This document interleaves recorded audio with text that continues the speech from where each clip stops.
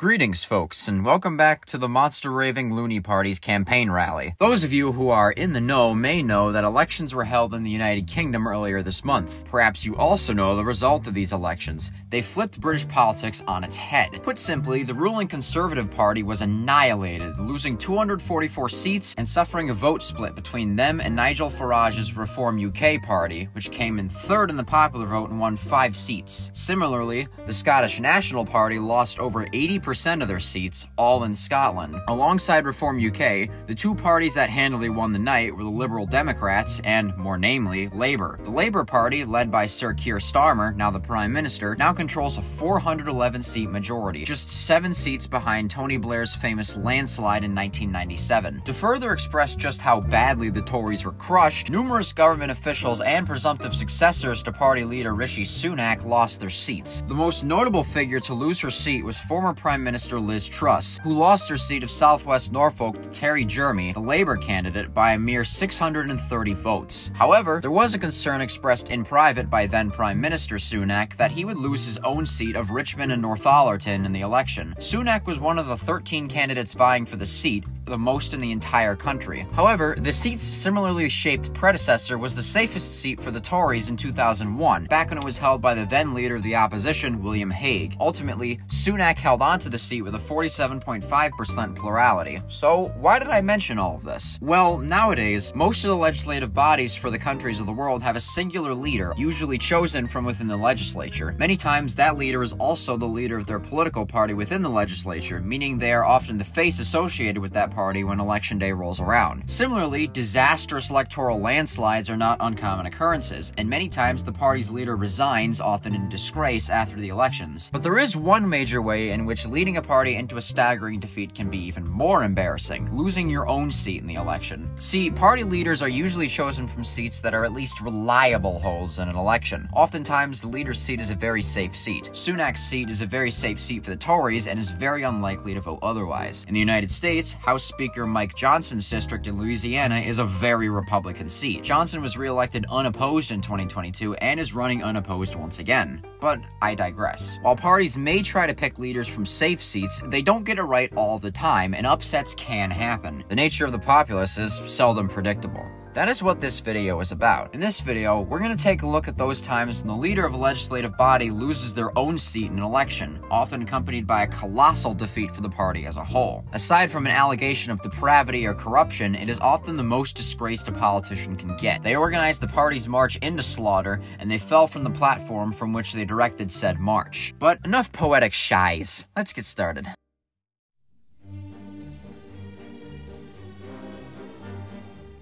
Arguably one of the most famous examples of this phenomenon occurred on the 25th of October 1993 in Canada. But first, we must jump back nine years. In 1984, the Progressive Conservative Party, under the leadership of 45-year-old Brian Mulroney, won a landslide victory against the governing Liberal Party, and the PCs, as I'll refer to them for the rest of this section, came to dominate the Canadian Parliament for three consecutive governments. While he remained a popular figure throughout the 80s, an economic recession in the early 90s and the rise of the right-wing populist Reform Party caused Mulroney's popularity to plummet. He resigned as Prime Minister on June 25, 1993. His successor was a member of his second government representing part of Vancouver Kim Campbell. To date, Campbell is the only Canadian Prime Minister from British Columbia and the only woman to have served the mandate. It was under Campbell that the election would be called, and the PCs hoped a new Prime Minister at the helm would provide enough momentum to hold on the power. However, general dissatisfaction with PC as a whole and many of the party's voters flocking to reform caused the Liberal Party, under the leadership of one Jean Chrétien, overtook them in the polls. Despite that, when it came to Kim Campbell as a person, she was the candidate people most wanted as Prime Minister, leading Chrétien by 13 points.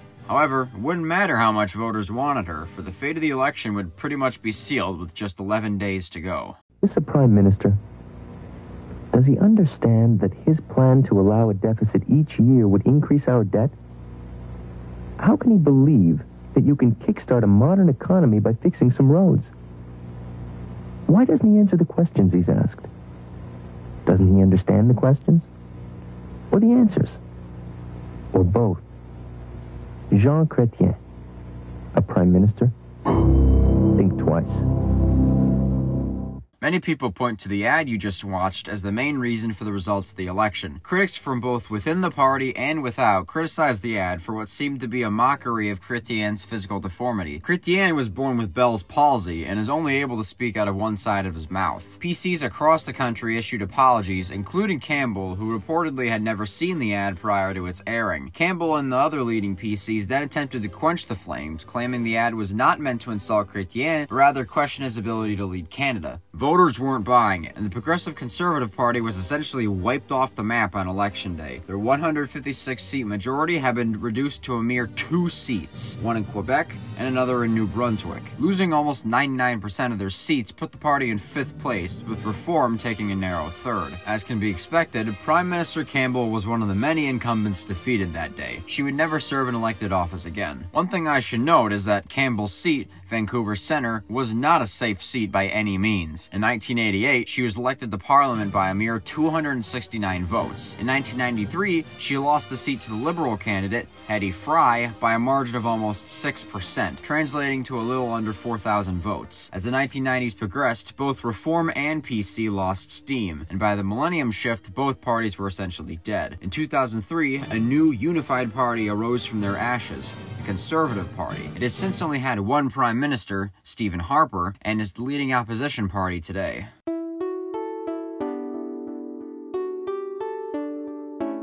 Though the United States doesn't have a parliamentary system, it mimics it a lot. Both houses of Congress have a majority and minority leader, chosen by their respective parties. In the House of Representatives, the Speaker is a much more active leader and functions a lot like a Prime Minister. The Speaker is elected by all incoming representatives immediately prior to them being sworn in. The key takeaway is that the Speaker and majority minority leaders of both houses are almost always sitting members of said House. With that in mind, let's now set the stage for our next case. The year is 1994. The nation is preparing for her midterm elections to be held on Tuesday, November 8th. During midterms, named as such for occurring in the middle of a president's term, one third of the seats in the Senate and the entirety of the House of Representatives go up for election. A number of governor's seats also go up for election. In 1994, the elections were being held during Democrat Bill Clinton's first term, and the Republican Party had been flung into a rage by some of his decisions and policies, particularly his failed health care plan. Furthermore, frustrations over a deficit spending were widespread. The last time the budget was in a surplus, which is when the government makes more money than it spends, was in the early 1950s. The Republican platform of 1994 pushed for a number of major pieces of legislation, the most significant of which being a balanced budget amendment. Known as the Contract with America, the platform helped the party sweep the elections. The Republicans won back both houses of Congress, flipping 10 governorships, 8 Senate seats, and 54 House seats, taking control of the House for the first time since the 1952 elections. Nowadays, it is referred to as the Republican Revolution. Among the highest profile defeats of the night were three term New York Governor Mario Cuomo and one term Texas Governor Ann Richards. However, another major profile loss occurred in the House, and it seems to have been forgotten today. Thomas Stephen Foley was elected the House of Representatives in 1964, defeating Republican incumbent Walt Horan to represent Washington's 5th District, which includes the city of Spokane. Despite Foley not being the most conservative of Democrats, the district consistently voted for Republican candidates in presidential elections. Foley generally won re-election by comfortable margins, and on June 6, 1989, he was elected Speaker of the House. Speaker Foley presided over three Congresses and in 1994 was running for re-election to a 16th term, having served for almost 30 years. His opponent was Republican George Nethercutt, a lawyer similarly based out of Spokane. One of the main issues in the local campaign was term limits. Foley had gained notoriety in Washington state for his virulent opposition to term limits, further noted by his run for a 16th term. Nethercutt hammered the issue into Foley, and it greatly hurt his campaign. On election day, Nethercutt defeated Foley by a narrow margin of about 4,000 votes. Deja vu. Foley became the first incumbent Speaker of the House to lose re-election since Galusha Grow in 1862. He was succeeded by Georgia Representative Newt Gingrich, the leading author of the Contract with America. Foley was one of a handful of leading Democratic congressmen to lose re-election, but isn't as notable of a casualty of the revolution. Instead, most people would think of the defeats of Governors Cuomo and Richards. Tom Foley would never run for elected office again and died at the age of 84 in 2013. George Nethercutt went on to serve five terms in the House, despite promising to serve only three when campaigning against Speaker Foley, and died just last month. In an ironic twist of fate, President Clinton's second term and the first year George W. Bush's presidency would be the most recent time the federal budget produced a surplus. And as for that balanced budget amendment, it passed the House after being introduced the day after the 104th United States Congress was sworn in, but it came up one vote short of the two thirds majority in the Senate. The decisive vote came from a Republican senator from Oregon named Mark Hatfield. Since then, the idea of a balanced budget amendment has persisted, but it hasn't had quite the traction it had in 1995.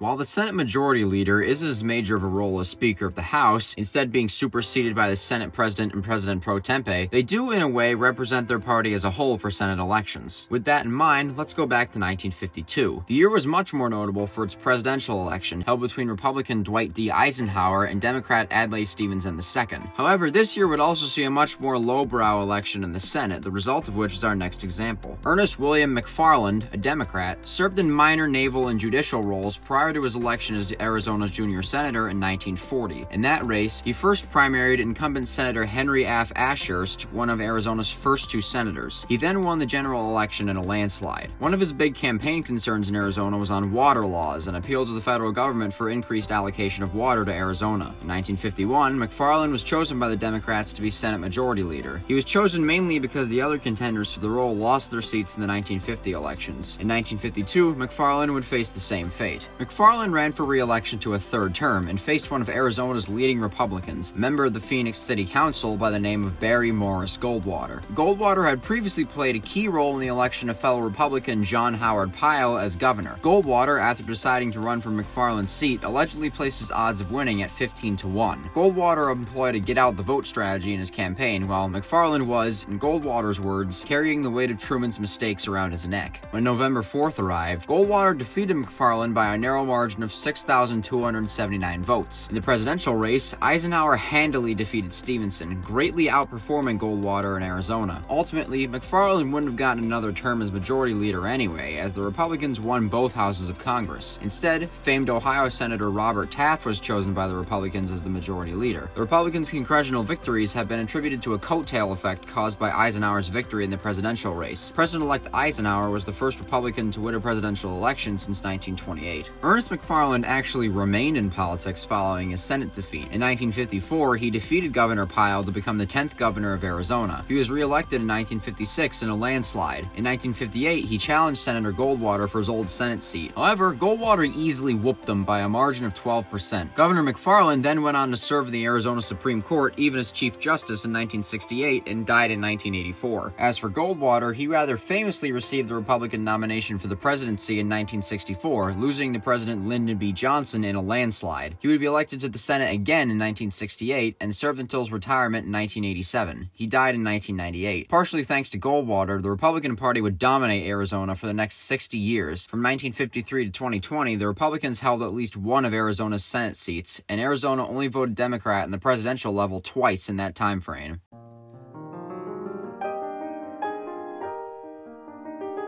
Pre 20th century parliamentary elections were anything but clean cut and orderly. MPs were much more dynamic with party ties than they are nowadays. They could be elected on a joint ticket or on a cross endorsement. Sometimes they'd be elected weeks or years after a parliament officially opened, and their chances of dying in office were far higher due to poor medical technology. There are also cases of an MP belonging to one party but consistently voting against it, and official party leaders weren't set in stone ideas yet. And if there were party leaders, they usually weren't the prime minister or leader of the opposition at the same time time. While parliamentary elections had mostly solidified their systems into today's prim and proper molds by the early 20th century, there was one major holdout nation, one with poor records and a famously unstable system, in which all of what I described a minute ago took place. The nation in question, often forgotten as having a legislative body, is the Russian Empire. In 1905, caused by centuries of absolute Tsarist rule and Russia's loss against Japan in the Russo-Japanese War, a revolution sprang up across Russia. In order to bring it to an end and appease the moderate revolutionaries, Tsar Nikolai II issued the October Manifesto, which, among other things, called for the establishment of a legislative body known as the Imperial State Duma. Suffrage was limited, and a number of safeguards were put in place by the Tsar to maintain his control over it. Despite that, parties across the political spectrum were set up, and there was a sense of enthusiasm among the voting public. The first elections were scheduled for early 1906. The reason I can't give an exact date is another fault of these antiquated parliamentary systems. Elections were held over the span of numerous months. For example, the 1906 elections were held at different dates across the empire, spanning from late February to as late as June. Ultimately, there were four Dumas, though one Duma's term was supposed to be five years. The first two Dumas only lasted a few months, however, as they were dissolved by imperial decree when they angered the Tsar. The third State Duma, which opened in November 1907, would be the first one to hold out and complete that five-year term, and here's where this story begins. Alexander Ivanovich Guchkov was leader of the Union of October 17th, known in short as the Octoberists, which supported the October Manifesto but opposed any further reform or limitation to the Tsar's power. He was elected to the Third State Duma, in which the Octoberists were the largest party. The Octoberists initially supported the reforms instituted by Prime Minister Pyotr Stolypin, but the two grew at odds with each other as the years went on. By the 1910s, there was a growing discontent among Octoberists, as many felt the provisions of the October Manifesto hadn't been implemented or were being subverted. While the mainstream of the party drifted leftward, a movement of right-wing dissent emerged from within, led by Yakov Gololobov.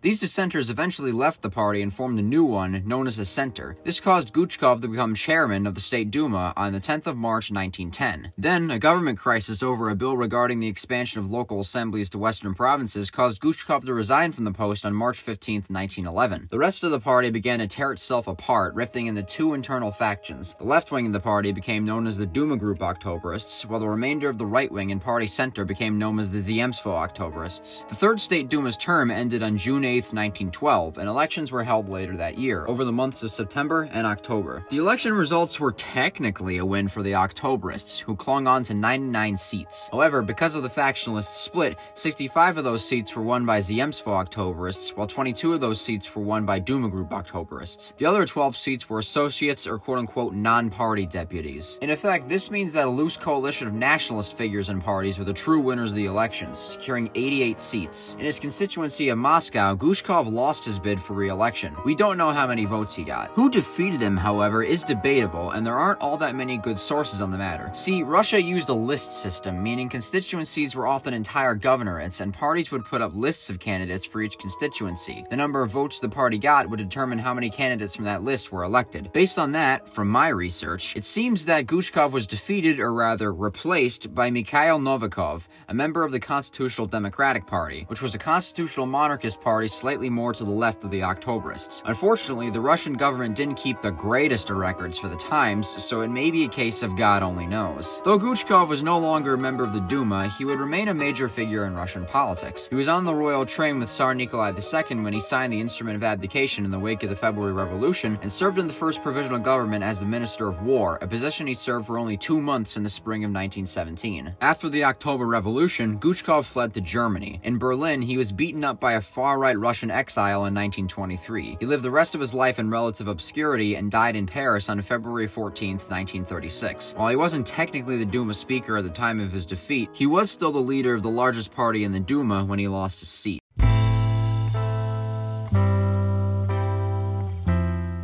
Next example is, on its own, an innocuous election. There wasn't any major scandal, government crisis, opposition campaign, or serious event that radically affected the eventual outcome of this election. The only thing that makes election really stand out in this day and age is the fact that a prime minister lost his seat. John Winston Howard began his career as a lawyer and the president of the Young Liberals, the youth wing of the centre-right Liberal Party of Australia, perpetually in a coalition with the National Party of Australia. After narrowly losing an election to the New South Wales Legislative Assembly in 1968, he was elected to the Australian House of Representatives for the seat of Bennelong in 1974. He was first chosen to be the leader of the Liberal Party and subsequently the leader of the opposition in 1985, but he was removed from the post four years later. He was re-elected the party's leader in 1995 and led the Liberal National Coalition to a landslide victory in 1996, ousting Labour Prime Minister Paul Keating. Now the Prime Minister, Howard's government brought Australia into the 21st century, presiding over a period of economic growth and committing Australian support to America's wars in Afghanistan and Iraq, Iraq following 9 11. Having won four elections in a row, Prime Minister Howard called for another election to be held on November 24, 2007. The Labour Party, now led by opposition leader Kevin Rudd, sought to return to power for the first time in 11 years. The election campaign was pretty normal. The main issues were health insurance, interest rates, climate policy, and the controversial work choices reforms. The coalition trailed Labour in the polls for the whole of the campaign, and when the results came in, Labour had defeated the coalition in a landslide, flipping 23 seats and narrowly winning the popular vote. Despite that, the coalition gained ground in Western Australia, net gaining one seat. I know these numbers sound small, but Australia's parliament only has 226 seats in total, and only 190 of them were up for election in 2007. However, another curious predicament had occurred. When the election was first called, Bennelong was still in contention. It seemed to many that Prime Minister Howard had lost his seat. In his concession speech to Kevin Rudd, he expressed a concern that he, quote, may have lost his seat.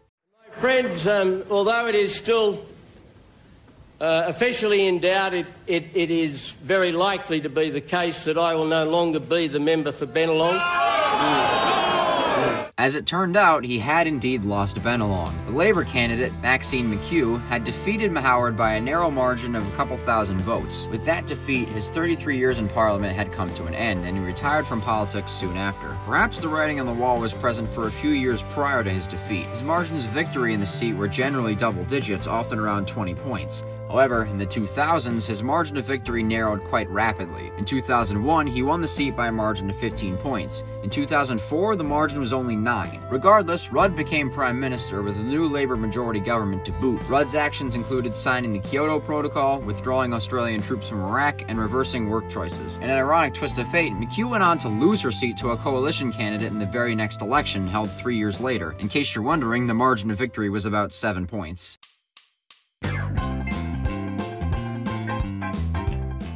Our last section is a much more contemporary example than any of the previous five, and is a much more local example, though it takes place in the United States. Stephen M. Sweeney was a labor leader and Democrat from New Jersey. In 2001, he was elected to the New Jersey State Senate for the 3rd District and would consistently be reelected by comfortable margins. On the 12th of January 2010, Sweeney became the Senate president, having been chosen by his party a couple months prior. Sweeney would ultimately go on to be the longest serving Senate president, garnering quite the reputation for his readiness to work with the opposition. In 2021, New Jersey held elections for its governor and legislature. The governor's race was contested between incumbent Democrat Phil Murphy and Republican Jack Ciattarelli. Sweeney ran for re-election. His challenger was Republican Edward Durr, a truck driver for Raymour and Flanigan. In the campaign, Sweeney spent about $305,000, while Durr spent at most a measly $2,300. Of those that made seat predictions, Sweeney's re-election was predicted as likely. Governor Murphy was also polling at almost double digits over Ciattarelli. It seemed seemed like it would be a Democrat sweep in New Jersey as it had been for years. When November 2nd arrived, Murphy did indeed win re-election. However, the margin was significantly closer than expected at 3.2%. Perhaps Ciattarelli caused a miniature coattail effect statewide because something else shocking happened in Senate District 3. Edward Durr had defeated Stephen Sweeney. The win was a massive upset, and the media had a field day pointing out how the Senate president had lost to a measly truck driver. Even more embarrassing was that the Democrats retained control of the state Senate, although the Republicans net gained a seat. Durr's margin of victory was wider than Murphy's, 3.4. Senator Durr would only serve a single term. In 2023, he was defeated for re-election by former Assemblyman John Burzichelli. The margin was much wider than 2021's, 7.2%. Because Governor Murphy is term limited, the 2025 gubernatorial election is an open seat. Both Sweeney and Durr have declared themselves candidates alongside Jack Ciattarelli. With all of that said, I'd like to quickly rank these six individuals in terms of how embarrassing their defeat was. In sixth place is Alexander Guchkov. Because Russia kept poor records and used the list system for their elections at the time, his defeat was, if anything, anticlimactic, and more the fault of the quickly collapsing party. The defeat also seemed to have little effect on his influence in Russian politics. In fifth place is Tom Foley. Foley is often forgotten as a casualty of the Republican Revolution, and, well, he honestly had it coming. Nethercutt had a free trump card in the former term limits with which to defeat the 15-term representative in a mostly Republican part of Washington state. In fourth place is John John Howard. Howard's seat was getting more competitive in the 2000s, and he seemed prepared to lose as the election results came out. Also note that Howard had been in office for 33 years, and having the same representative for that long can sometimes wear out a voter base. In third place is Ernest McFarland. While he wasn't a major figure nationwide when he lost, his defeat was certainly a massive blow to Arizona Democrats. Take note as well that he'd won his previous two elections in landslides, with margins comparable to that of certain southeastern states. In second place is Kim Campbell. Campbell was given the reins of a party destined for disaster, and while she improved their image somewhat at first, she ultimately failed to lead the party out of a wipeout. Also note that, excluding Guchkov because we don't know his numbers, Campbell is the only one of the other five to lose her seat by a quote-unquote comfortable margin at about 6%. All others lost their seats by at most 5%. And at number one is Stephen Sweeney. As an incumbent, his worst re-election performances were still in high single-digit margins, and he was a major figure in New Jersey politics. Despite all that, he lost to a random truck driver that barely spent anything in his campaign, all while his party won statewide and kept control of the legislature. In a way, that's the most embarrassing, losing your own seat all while your party wins. But Okay,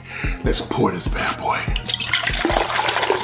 In conclusion, representative systems of government can often produce peculiar results. It's a humorous phenomenon when the sitting leader loses their own bid for re-election, whether or not the party suffers a defeat. But with that said, let me know your thoughts in the comments. Remember to video the like and subscribe the hit button and whatever. Perhaps if this video does well enough, I'll make a part 2, we shall see. And remember, drink your water and stop falling over.